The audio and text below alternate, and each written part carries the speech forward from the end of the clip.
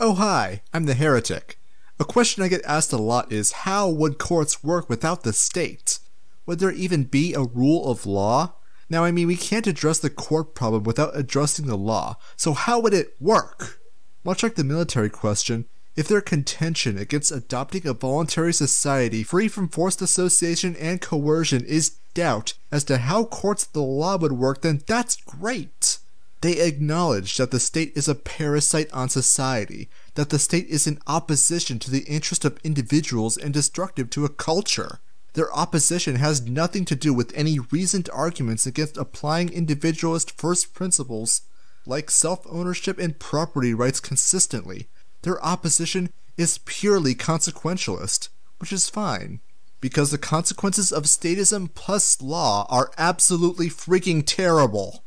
What exactly is a law supposed to do? Set standards for minimal acceptable behavior to establish order and guidelines for peaceful interaction between individuals, protect rights, and most importantly, they have to be ethically justifiable.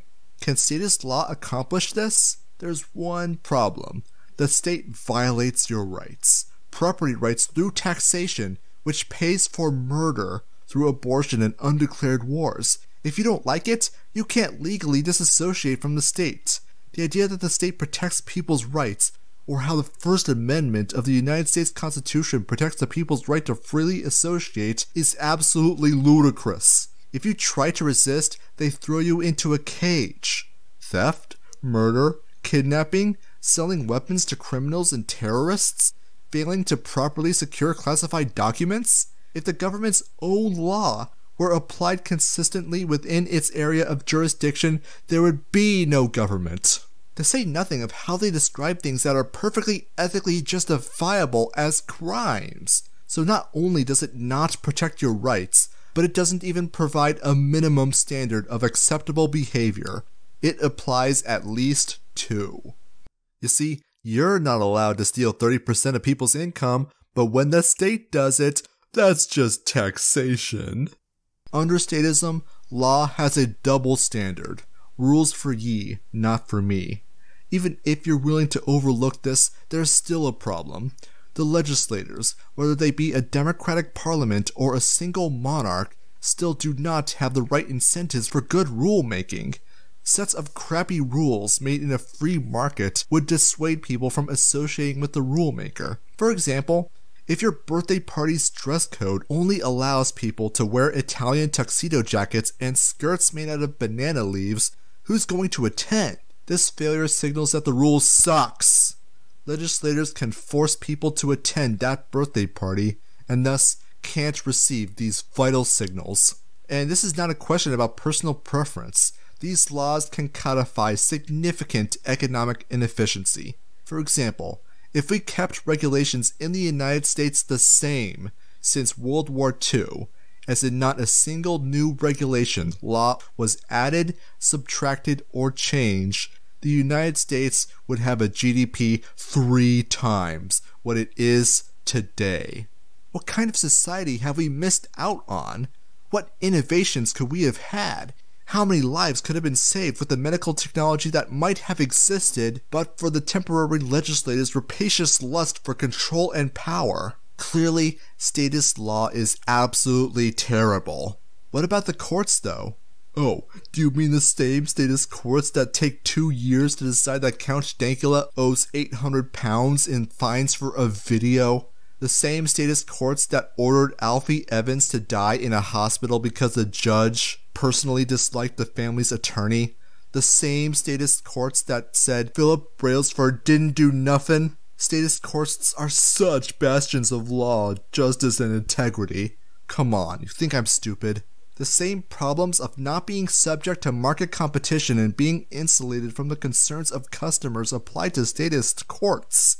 Of course, they're going to be awful. But what alternatives are there? How do we protect people's rights without the pitfalls of statist law?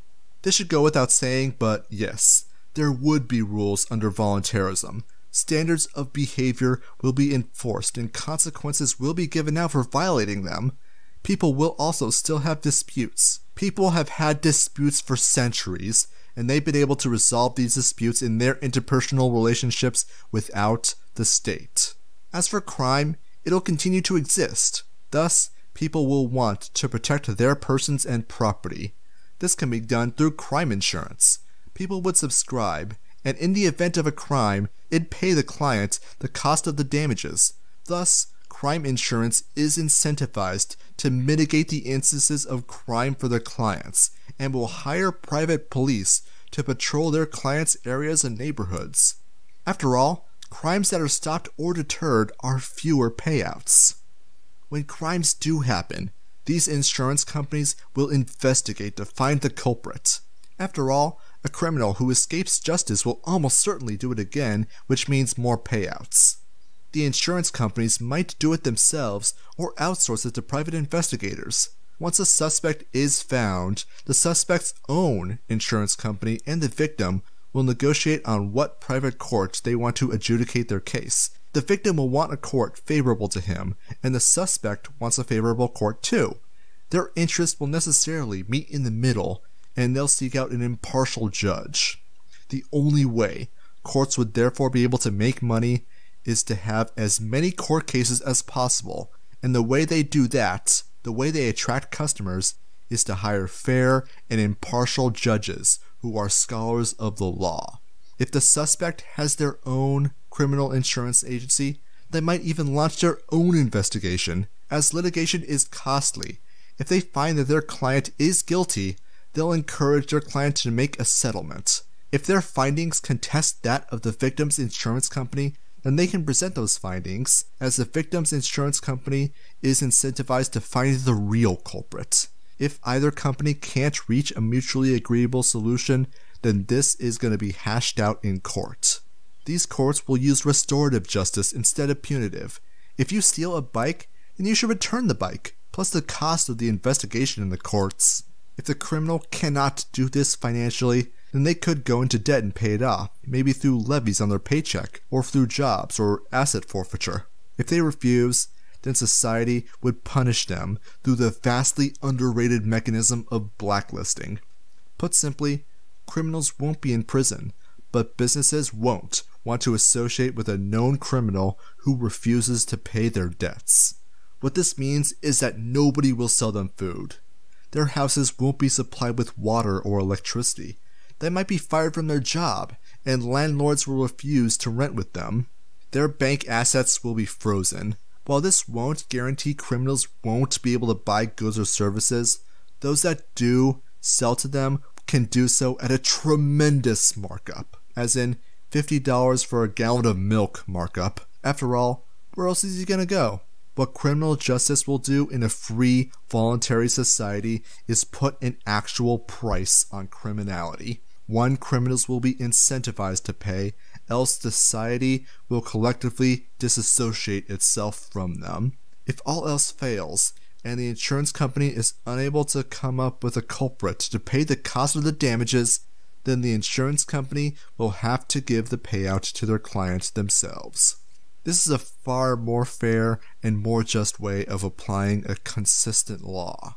Now let's address some of the criticisms that will doubtlessly be leveled. Won't rich people just buy out the courts? Not if the courts want to continue having business.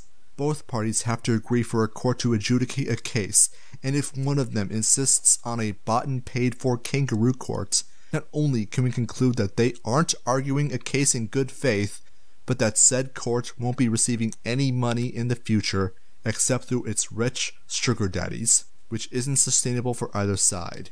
The incentive for courts is to be fair and apply the law consistently rather than succumb to the rampant double standards of statist law. Would criminals agree to a court at all? Of course. It's the quickest way to not be blacklisted by society. What if the law says free speech is wrong?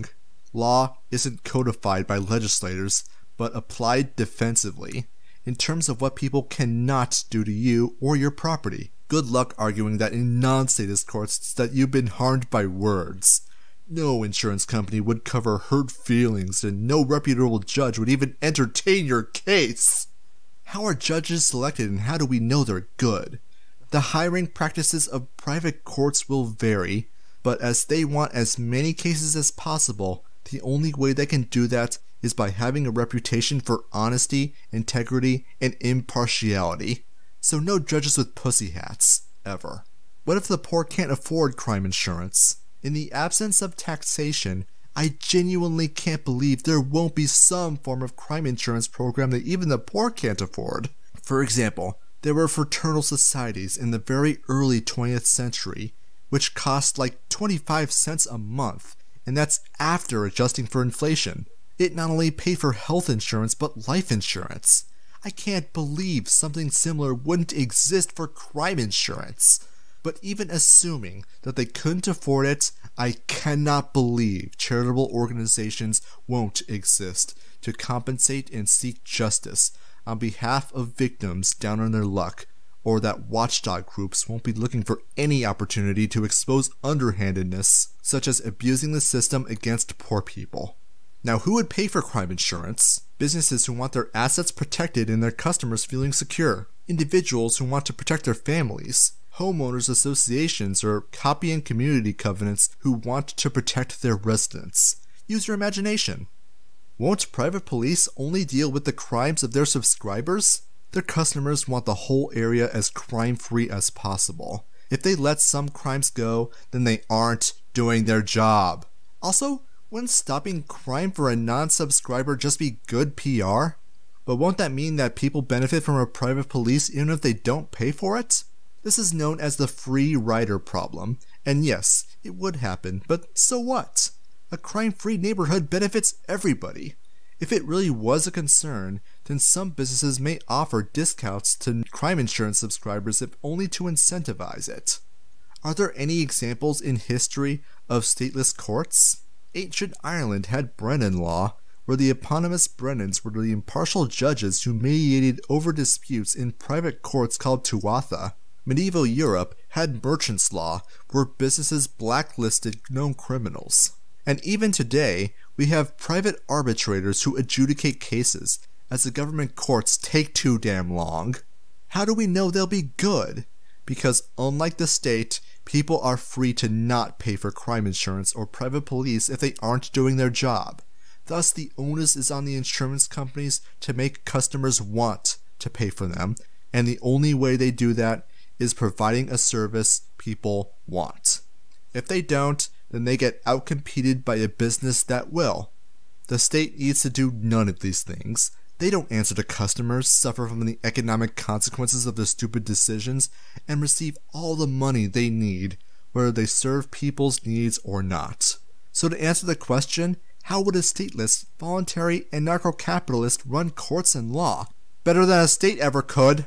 Questions, comments, critique? How would you hire judges if you owned a private court? What would you name your private court? Like, share, and subscribe to become a heretic today.